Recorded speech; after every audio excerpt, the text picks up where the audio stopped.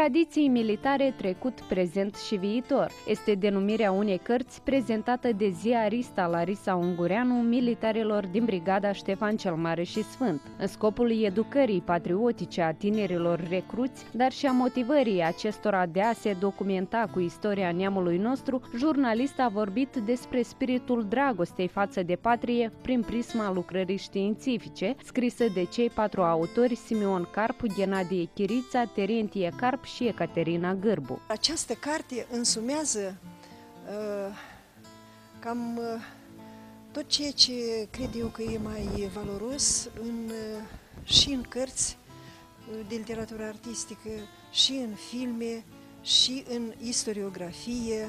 Uh, sunt aduse documente originale, este foarte bine ilustrată.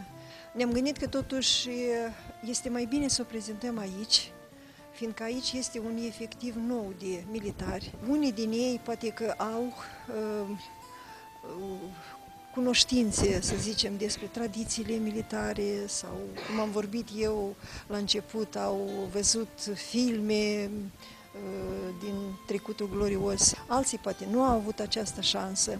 Larisa Ungureanu le-a vorbit ostașilor despre momentele importante din istoria artei militare, despre tacticele și stilurile de luptă, ținutele strămoșilor noștri, precum și manifestările de vitejie și curaj pe câmpurile de luptă.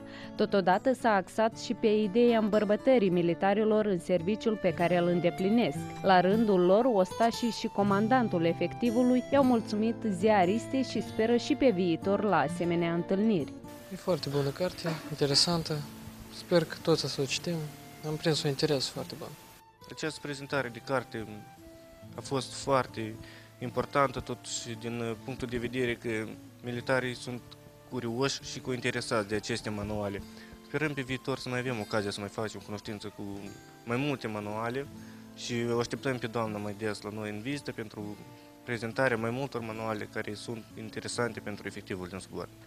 Lucrarea științifică însoțită și de un CD a fost lansată în 2013 cu un tiraj de 2000 de exemplare.